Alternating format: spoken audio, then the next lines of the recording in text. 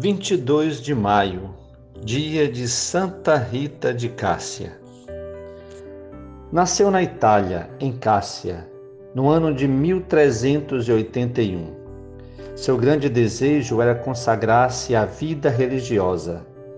Mas, segundo os costumes de seu tempo, ela foi entregue em matrimônio para Paulo Ferdinando. Tiveram dois filhos e ela buscou educá-los na fé e no amor.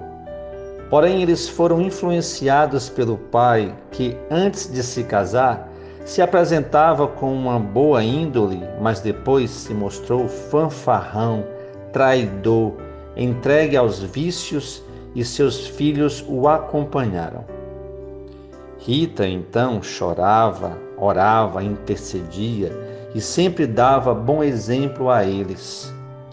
E passou por um grande sofrimento ao ter um marido assassinado e depois ao descobrir que os dois filhos pensavam em vingar a morte do pai. Com um amor heróico por suas almas, ela suplicou a Deus que os levasse antes que cometessem esse grave pecado. Pouco tempo mais tarde, os dois rapazes morreram depois de preparar-se para o encontro com Deus. Sem o um marido e filhos, Santa Rita entregou-se à oração, penitência e obras de caridade e tentou ser admitida no convento agostiniano em Cássia, fato que foi recusado no início. No entanto, ela não desistiu e manteve-se manteve em oração, pedindo a intercessão de seus três santos patronos, São João Batista, Santo Agostinho e São Nicolas de Tolentino. E milagrosamente foi aceita no convento.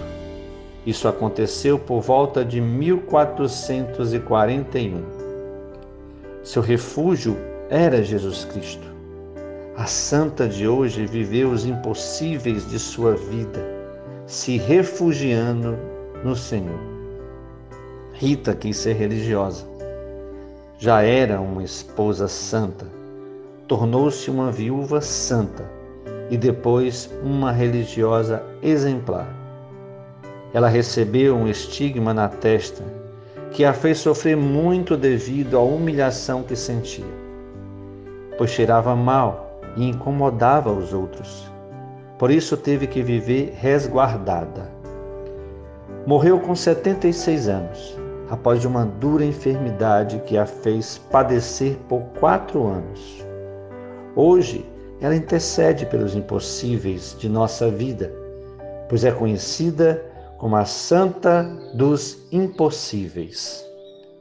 Santa Rita de Cássia, rogai por nós.